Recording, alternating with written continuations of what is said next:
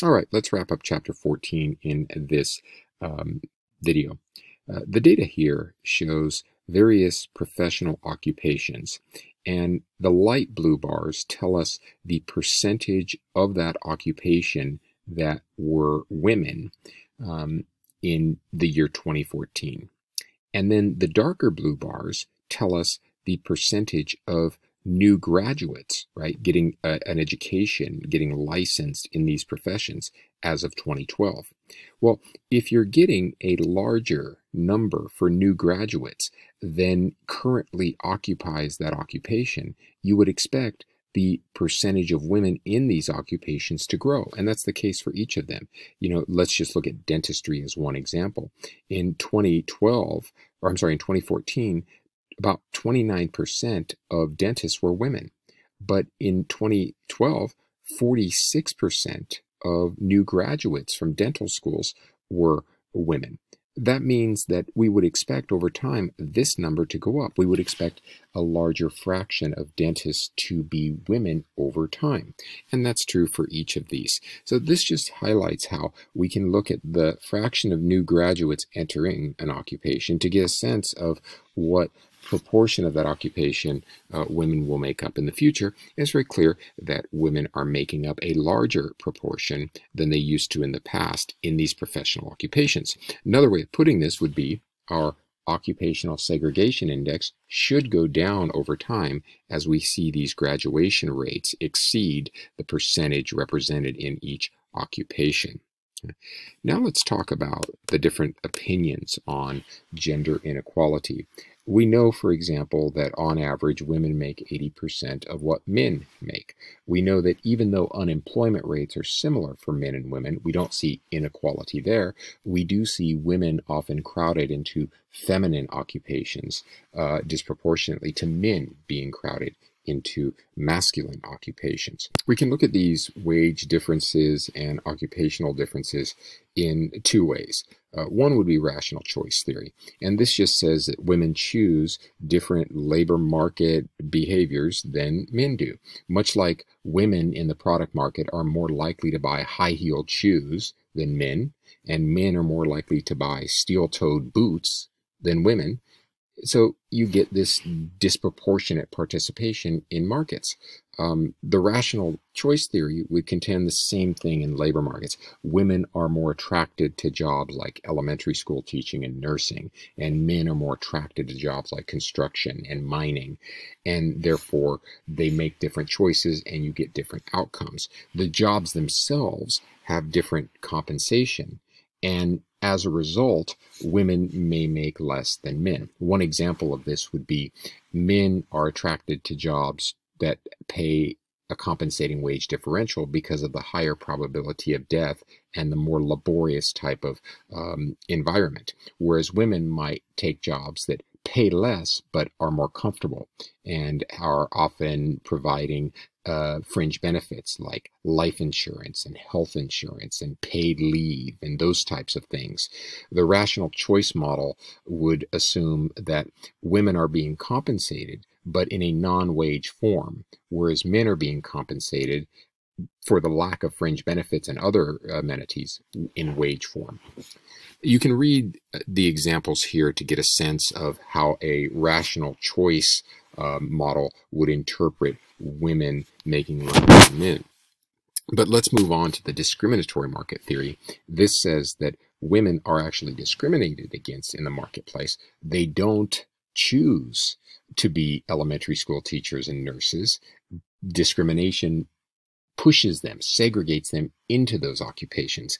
Um, they don't choose to take fringe benefits over wages, but they're forced to and pushed into occupations that pay less money and provide more um, paid time off and fringe benefits and so forth.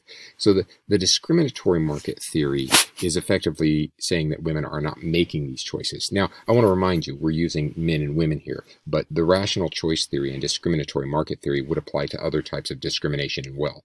As well. You know, are blacks choosing uh, lower paying occupations relative to whites?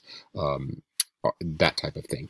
But let's stick with the gender differences, and you can see, you can read these yourselves, but uh, here's kind of an example of how a discriminatory market theorist would analyze um, the differences between men and women. Now, I want to also mention that the real world is probably a mix of, of both of these. You know, I, I know it, it sounds uh, kind of cliche to just say, well, everything is in the middle. But the truth is that um, there are certain occupations that women are more likely to choose than men. We see that and vice versa. And there have been clear discriminatory elements of labor markets uh, in the past and uh, today that still exist. So realistically, we probably want to think of a spectrum here with rational choice on one end and discrimination on the other end, and we're somewhere in the middle um, or somewhere in between at any given point in time. All right, let's wrap up with the major anti-discrimination laws. We do use government to address a lot of these discrimination problems. It's incomplete. Uh, government is one means of remedying this. Uh, there's other means too. There's cultural change, there's education, right?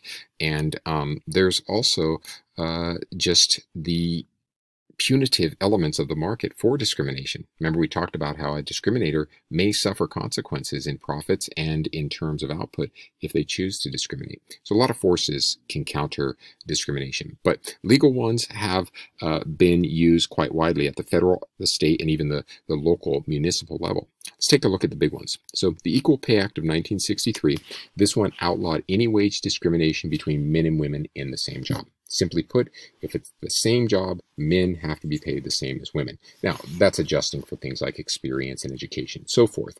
Uh, but if all else is equal, then you can't pay women less than men. There is a loophole here. Uh, firms could get around this law by creating separate jobs. If they say that a job is different and they usher women towards the lower paying job, then they can legitimately pay women less than men. But again, the job, if it's perceived as the same, if they're doing the same work, it'd be a hard loophole to create. You really need to create a different job for women. And that is one of the problems because if you look at, for example, a woman that goes to work for a construction company, well, maybe the woman is perfectly willing to work in the uh, physical construction of a building, but she gets ushered into a receptionist position. So she ends up making less than if she did the actual physical construction. She's being segregated um, as a result of her gender. So that would be legal. The segregation might be a problem, but it wouldn't violate the Equal Pay Act because she's a receptionist. She's going to make less than the construction workers because they're in different jobs. The problem is that she would have been willing to do the higher paying job, but wasn't given that opportunity. Another example of the anti-discrimination legislation is the Civil Rights Act of 1964. This is the big one, right? This is the one that we still talk about today. Uh, it outlawed both wage and employment discrimination based on these uh, categories race, gender, color, religion, and national origin. I think this act is more telling in what it doesn't include because those are going to be bones of contention in the future. One example would be there is no protection in this act for sexual orientation. And states have um, adapted to that by creating their own legislation that bans uh, discrimination based on sexual orientation, but there is no federal protection in this particular act. But there is for these other things. And I also want to remind you that it, this would not be a violation I should say discrimination would not be a violation in any of these areas if they were relevant for the position. Remember we talked about previously hiring a priest for a Catholic church. You could discriminate based on the religion of that priest. If the priest is Muslim, you don't have to hire them as a um, Catholic priest. But that would be a non that would be a relevant characteristic and so it wouldn't be subject to the civil rights act of 1964 just like if you were hiring our italian actor right um, you could say well he's got to be male and he's got to be white italian um, therefore you could you would not be violating the civil rights act of 1964 because those would be relevant characteristics. Okay, this applies to all private employers, labor unions, and governments. Effectively, it applies to just about everyone. And then there's the executive orders. These come directly from the president, whereas these two come from Congress. Um, executive orders are unique because they only they can be um, removed by subsequent presidents because they are um, uh, the executive at that time. But a lot of these are still around. They haven't been reneged upon. 1965 uh, to 1968, we get uh, an executive order that prohibits federal contractors from discriminating against workers on the basis of race, gender, color, religion, and national origin. So it's specifically targeting federal contractors. If you if you get hired by the federal government, if your company wins a bid to do work for the federal government, you cannot discriminate based on these factors. Okay. And then um, it requires affirmative action programs for firms that underuse women and minorities. Affirmative action is where you, a firm is required to hire certain disenfranchised groups of the past, like women and minorities, in order to um, comply.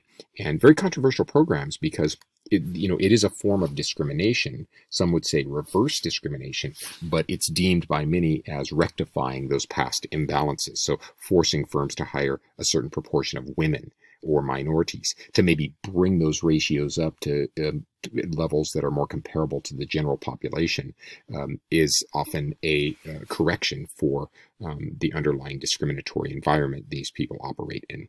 All right, so that's it for this chapter. Um, a very interesting subject. I would encourage you to maybe research some of these things a little bit more. Uh, they're not topics that will go away. They'll always be um, discussed because discrimination is a concern to most people. It's just a matter of how we deal with it and how we remedy it. All right, guys, if you have questions, let me know. Thanks.